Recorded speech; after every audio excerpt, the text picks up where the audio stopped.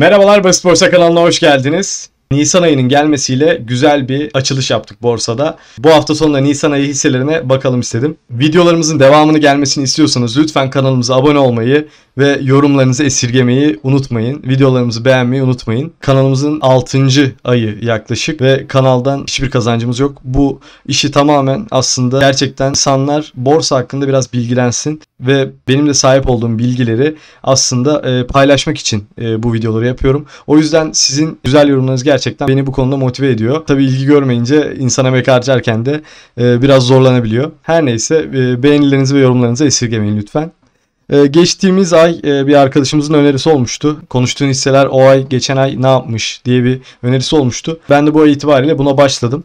Ee, gördüğünüz üzere geçtiğimiz ay daha çok üstüne durduğumuz, daha çok yorumlarını yaptığım, konuştuğumuz hisselerin performansı bu şekilde. Burada en iyi performans gösteren %39'da Vestel ve %36 e, ile hedef girişim olmuş. Koç Holding ve Doğuş Oto'da bir düşüş gerçekleşmiş. İşmen'de de bir düşüş gerçekleşmiş. Konuştuğumuz hisselerin e, ortalaması aylık %12 gibi bir kazanç sağlamışız. Bu filtrelemeyle ve yaptığımız yorumlarla beraber. Umuyoruz her ay böyle olur. Şirketlerimiz, e, borsamız büyümeye devam eder.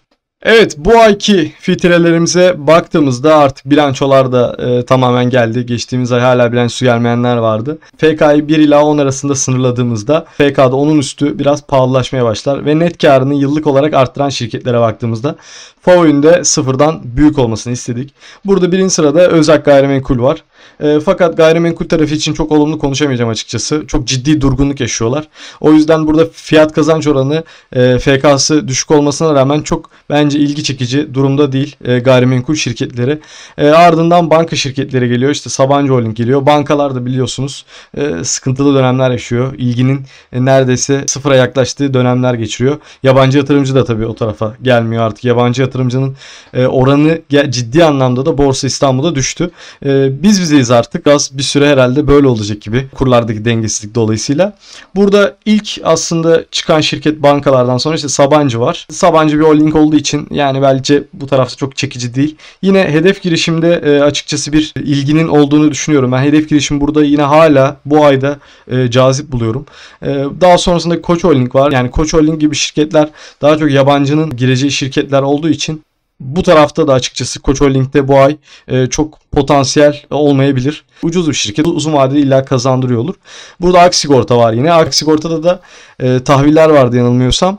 E, oradan da bir zarar yazıyor olabilir Ak Sigorta bu tarafta. O da çok şu anda cazip durmuyor. Daha sonra Doğuş Oto ilk 3 ay güzel gitti. Yani belki ilk bilanço güzel gelecek ama daha sonrasında kur artışı dolayısıyla işte gelecek vergiler dolayısıyla otomotivde mutlaka bir yavaşlama olacaktır. Doğuş Oto aslında şu an uygun ama belki ilk bilançoyla bir e, hareket yapabilir. O yüzden bu ay belki bir e, hareket yapabilir diye düşünüyorum ben.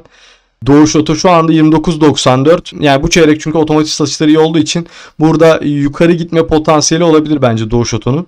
Burada işmen var yine. Borsa hacimlerinde bir düşüş var. E, işmen buralardan tabii etkileniyor ama işmenin işlerinin %30'unun hacimlerden geldiğini unutmamak lazım. İşmen geçtiğimiz ay gördüğünüz üzere aslında iyi bir düşüş yaşamıştı. Yani gerçekten fırsat yarattı diyebilirim bence.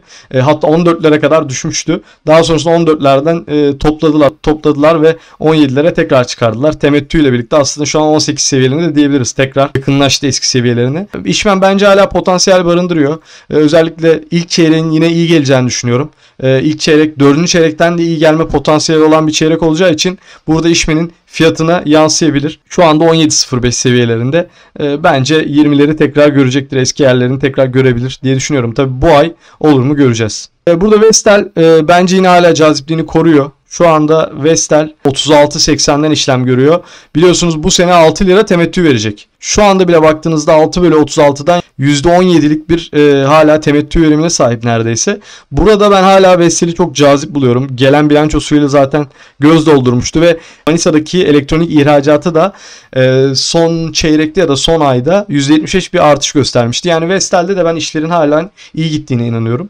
E, burada Anadolu Hayat var. Anadolu Hayat bu çeyrek önemli Anadolu Hayat için. Yani primler artacak mı? Ne kadar artacak? Vesaire. E, Anadolu Hayat ufak ufak büyüyen bir şirket. Şu anda 9.26 seviyelerinde. Belki daha aşağı gelebilir ama iyi bilanço gelirse orada tekrar yukarı da yapabilir. Yani çok cazip değil bence. Çünkü 0.71'de bir temettü vardı net olarak. Yani belki biraz daha aşağı gelirse daha fırsat olabilir. Burada Arsan var. Arsan'ın bir bedel hikayesi vardı. Oradan biraz yukarı yapmıştı. Ama bu ay işte kur dengesizliği belki e, arsana e, sıkıntı yaratabilir. E, ben burada Aselsan'ı ve Arçelik'i yine beğeniyorum bu ay için açıkçası. Çünkü Aselsan'ın gerçekten çok düştüğünü düşünüyorum ben. Yani özellikle kur artışının olumlu etkilediği bir şirket olmasına rağmen 15.50'lere kadar düştü. Ben burada açıkçası bu, bu ayki potansiyel gördüğüm hisse olarak Aselsan'ı eklerim buraya. Arçelik burada bence hala potansiyel barındırıyor bu ay içinde. Devam ettiğimizde yine Vespe bence potansiyeline devam ediyor. Ve burada son olarak da Tofaş'la Deva'yı ekleyebiliriz bu tarafta. FK'sı 1 ile 10 arasında olan ve net karını arttıran yıllık e, şirketlere göre. Tofaş yine e, ilk çeyrek otomotiv satışlarından e, güzel etkilenecek ve şimdi Tofaş'ın bir de ihracat kısmı var. O yüzden kur artışı burada biraz Tofaş'a etki, olumlu etkiliyor. E, bu tarafta da işte Avrupa'nın aşılanmasının hızlanmasıyla Tofaş'ın önümüzdeki vadede bir hareketlenmesine sebep olabilir. E, Deva'da işte son zamanlarda ilaçların biliyorsunuz ne kadar önemli olduğunu. Deva'da ilaçlarıyla her yere artık ulaşmaya başladı. E, üretim konusunda gerçekten yatırımlarıyla da aslında iyi, iş yapıyorlar. Tabii yatırımcı ilişkileri çok iyi değil. Yani sorulan sorulara e, genelde çok iş cevap vermiyorlar ama Deva da burada güzel bir şirket. İkinci filtreye baktığımızda burada FK'yı 1 ile 14 arasında sıraladığımızda öz, öz varlık karlılığını arttıranları da eklediğimizde yine burada hedef girişimi zaten görüyorsunuz. İşmeni görüyorsunuz. Doğuş Oto'yu görüyorsunuz. Vestel'i görüyorsunuz. Aslında konuştuğumuz şirketler yine Arçelik. Ee, burada eklenen işte EK'sı ondan yüksek olduğu için işte Enka, Şişe, Petun, işte Ege Seramik, e, Aksa, Petkim görüyorsunuz. E, Petkim buralarda biraz hala pahalı. Yataş da aslında FK'sı şu an pahalı seviyelerde ama e, burada da iyi büyümeler gerçekleştiğini biliyoruz. Yataş'la Petkim de bu ay fena performans göstermeyebilir. Yine Ege Seramik'in ben çok iyi bir bilanço getireceğine inanıyorum. Aslında e, FK'sı 11.67 olmasına rağmen e, ihracat oranı çok iyi seviyede olduğu için Ege Seramik'in burada iyi bir bilanço getireceğine inanıyorum. Burada Şişe Cam yine e, yeni üretim tesisini e, devreye aldı. Yani belki bu çeyrek yine ortalama bir şey getirir ama önümüzdeki çeyreklerde burada bir hareketlenme gerçekleşebilir. E, şişe camda da. Yani bu yatırımın verdiği etki de tabii bir e, şişe hareketlendirebilir. Yine Aksa burada güzel bir şirket. Aksa da FK'sı 12 seviyelerinde. Kimya tarafında da işler güzel gidiyor. Yine ihracat oranı yüksek olduğu için Enka burada prim yapabilecek bir şirket olabilir. Enka'nın da FK'sı 10 seviyelerinde. Enka'ya şöyle baktığımızda son 3 çeyrekte zaten biraz toparlamıştı. E, biliyorsunuz pandemi döneminde bir zarar yazmıştı. Ama şu anda e, o toparlanmayı ciddi yani bu çeyrek karıyla daha iyi daha düşük FK'lara çekebilir. Evet filtrelerimizi arttırdığımızda burada FK'ya göre de sıraladığımızda yine ee, burada Alarko var. Alarko'nun kurur değişikliklerinden biraz sıkıntı yaşama ihtimali olabilir bence. Burada yine Vestel Arçelik görüyorsunuz. Vespe var. İşte Ege Plus var. Burada aslında Ege Plus da benim bu aralar ilgimi çekiyor. Yani bu çeyrek bilançosunu da merak ediyorum. Çünkü ciddi bir e, kar büyümesi var. E, burada da hani böyle çok zarar eden bir şirket de değil. EKS şu an 10 seviyelerinde. Geçtiğimiz hafta da kötü aslında düşmüş yani 4.41 ile kapamış Cuma günü. Ege Plus'ı da biraz takip etmek gerekiyor. Yani işte kur etkisinden ne kadar etkilenecek bilançoya bir bakmak lazım. E burada liste işte e, Türk Traktör ve İşdemir giriyor. Ben burada İşdemir'i yine beğeniyorum. E, çünkü burada İşdemir'de işte o demir fiyatlarındaki makasın e, kar marjının açılmasıyla e, İşdemir gerçekten iyi bir bilanço açıklayıp burada FK'yı daha aşağılara çekebilir. E, o taraftan İşdemir potansiyelli görüyorum. Bir de piyasa değeri defter değeri oranına göre sıraladığımızda da Burada iş CTR ilk sırada. Yani bankalar zaten şu an ilk sırada e, başı çekiyorlar. Gayrimenkuller çekiyor. Ya tabii başı çekmelerinin belli sebepleri de var. Yani burada bankalar e, çünkü kazandırmıyor bu aralar. Hakikaten ilgi de çok düşük. Gayrimenkul tarafı zaten durgun. E, burada o yüzden çok ilgi çekici durumda değiller.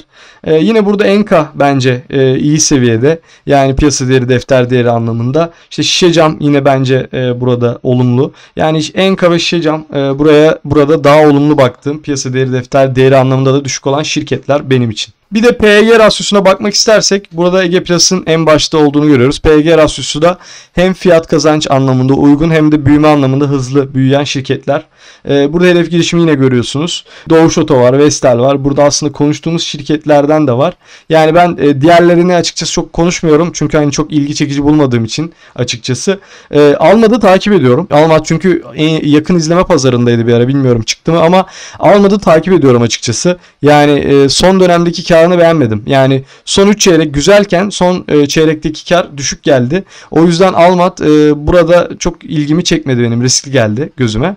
Onun dışında İşmen var yine e, PG rasyosunda burada yüksek olarak. İşte Vespe var, Deva var. Yine aslında konuştuğumuz şirketler burada yine yer alıyor. Anadolu Hayat da burada 0.16 ile aslında fena bir oranı yok. Aselsan 0.24, Ak Sigorta'da 0.32. Evet bu ayda e, potansiyel barındıran hisseleri konuştuk. Yani hisseler hakkında yorumlarımı az çok e, söylemeye çalıştım size. Hem de filtrelerimizi de koyduk. Yani e, bu filtreler de gerçekten bizim için faydalı oluyor. Çünkü bizi rasyonel anlamda açıkçası değerlendirmeye itiyor. Yani fiyat kazanç oranı anlamında, işte piyasa değeri, defter değeri anlamında bizi daha yanılma payımızı en azından düşürüyor diyebiliriz. Bu ayki hisselerimiz de umarım iyi performans gösterir. Önümüzdeki ayda bu konuştuğumuz, e, üstünde durduğum hisseleri dikkatlice dinlerseniz zaten e, o hisseleri biliyor olacaksınız siz de. Bu üzerinde du- durduğum hisseleri önümüzdeki ayda performansına bakıyor olacağız. E, burada anlattıklarım kesinlikle yatırım tavsiyesi değildir. Biz filtrelerimizi kullanıp e, piyasalar, sektörler hakkında, işte şirketler hakkındaki haberleri aslında birleştirip e, size bazı yorumlar aktarmaya çalışıyorum. O yüzden bunu unutmayalım yani herkesin yatırımı kendine. Siz de buradan veya başka bir yerden kendinize uygun olan şirketlere yatırım yapabilirsiniz. Lütfen desteğinizi esirgemeyin. Ee, gerçekten sizlerle bu kanalı yürütüyoruz. Hepinize sağlıklı günler diliyorum. Bol kazançlar diliyorum. Hoşçakalın, borsayla kalın.